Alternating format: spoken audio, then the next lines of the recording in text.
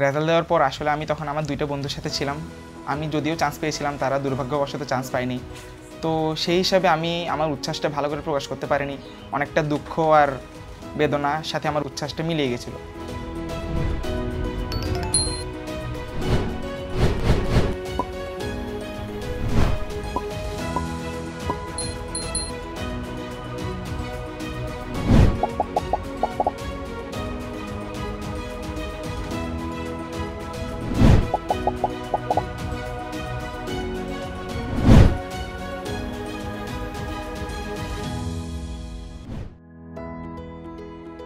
আমার সন্তানের সাফল্যে আমি খুব খুশি হয়েছি এবং আমার খুবই ভালো লেগেছে।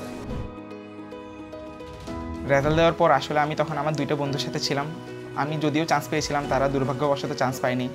তো সেই হিসাবে আমি আমার উচ্ছ্বাসটা ভালো করে প্রকাশ করতে পারিনি। অনেকটা দুঃখ আর বেদনা সাথে আমার উচ্ছ্বাসটা মিলিয়ে গেছিল। ক্লাস নাইনে যখন বিভাগ নির্বাচন করতে বলা হয়, তখন আমার বন্ধুরা অনেকেই ইঞ্জিনিয়ারিংয়ের দিকে ঝুঁকে পড়েছিল। কিন্তু আমি ভেবেছি যে আমি ডাক্তারি পেশার দিকেই থাকি। আব্বু আম্মু সবসময় আমাকে উৎসাহ দিয়েছেন। আমি যখন রাতে সারা রাত পড়ার পর যখন সকালবেলা ঘুমানোর জন্য প্রস্তুতি নিতাম, তখন দেখতাম আব্বু মাত্র ঘুম থেকে উঠছে। তখন উনি আমাকে উৎসাহ দিতেন। না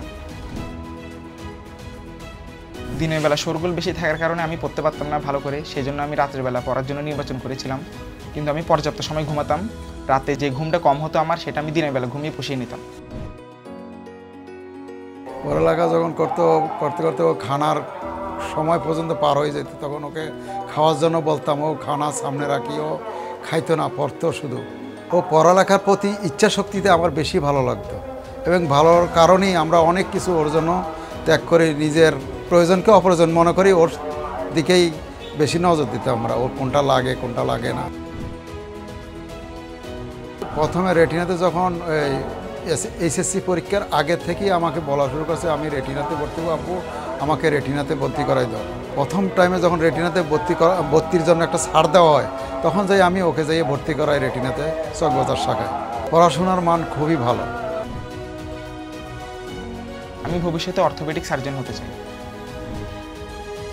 ছেলেকে যেভাবে আমি দেখভাল করছি এবং ওর প্রতি যেভাবে খেয়াল রাখছি এবং অন্যান্য অভিভাবকবৃন্দ যদি ওনাদের ছেলেদের প্রতি এইভাবে খেয়াল এবং ওনাদের প্রয়োজনকে অপ্রয়োজন মনে করি, বাচ্চাদের প্রয়োজন এবং লেখাপড়ার প্রতি মনোযোগী এবং ইচ্ছা শক্তিকে প্রাধান্য দেয় এই জন্য আমি ওনাদের প্রতি অনুরোধ জানাই আর কি।